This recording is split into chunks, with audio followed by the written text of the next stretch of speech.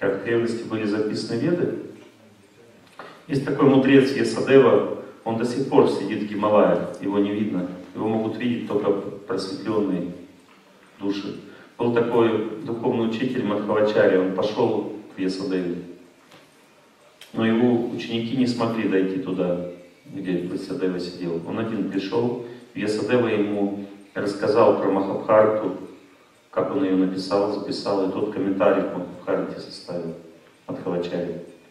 Это было 500 лет назад, последний раз с, с Вьясадевой общались. Он жил 5000 лет назад, он записал все веды полностью. И он был не удовлетворен, потому что он не поним... ну, как бы он чувствовал, что людям этого недостаточно. И поэтому пришел к нему его духовный учитель Нарда Муни. Это духовный учитель всей Вселенной. Он в духовном теле находится вообще, у него нет материального тела.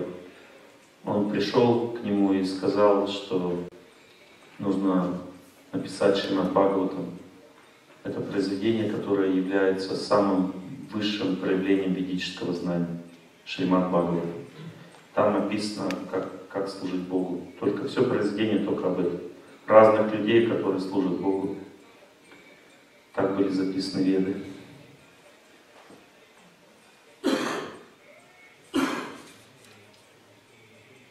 Веды это обширное знание вообще. Там есть знания обо всем. Это инструкция по всем направлениям. Некоторые пользуются этим и выбирают направление, которое не слишком надо ну, популяризовать. Например, есть Камасутра, там объясняется, как сексом заниматься.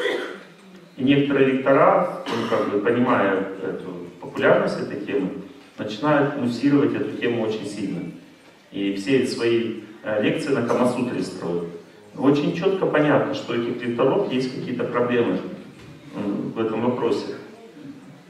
Вообще есть, э, есть э, благостные ведические писания, есть страстные, есть невежественные. Невежественные ведические писания, они как бы дают знания а, о том, ну, что не сильно надо об этом зацикливаться, понимаете? Ну, например, Камасутра это невежественное ведическое писание. Оно находится под влиянием двум невежества. Оно дает знания, но это знания, которые не надо вот сильно зацикливаться на нем. Допустим, если как бы, ну, ты узнал из ведического знания, как ходить в туалет, не нужно вот постоянно целыми днями об этом рассказывать.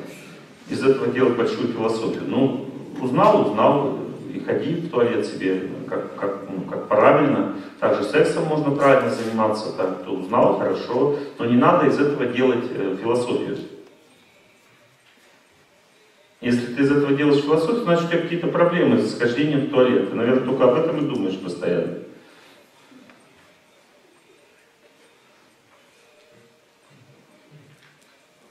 Не ходите на лекции по Камасутре. Ведические, не ходите. Потому что это вам не поможет развиваться. Если человек читает такие лекции, значит у него с мозгами трудности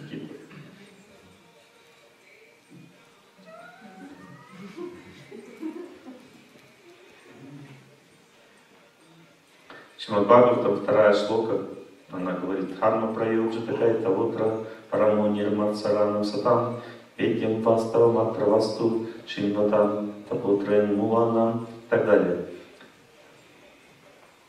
Это ведическое писание. А, полностью отвергая всякие религиозные писания, писания, полностью отвергая всякие религиозные писания, направленные на достижение материальных целей. Это ведическое писание утверждает абсолютную истину, которую могут достичь только те, чистые те люди, чьи сердца стремятся к совершенной чистоте. Этого произведения вполне достаточно для осознания Бога. Зачем же нужны какие-либо другие писания? Как только человек начинает внимательно и с преданностью читать это великое произведение, Верховный Господь сразу же утверждается в его сердце. Так далее.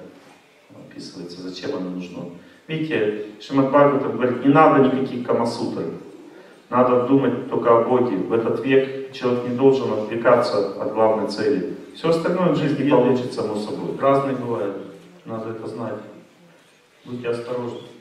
Сейчас много популярных докторов, которые пытаются что-то не то говорить.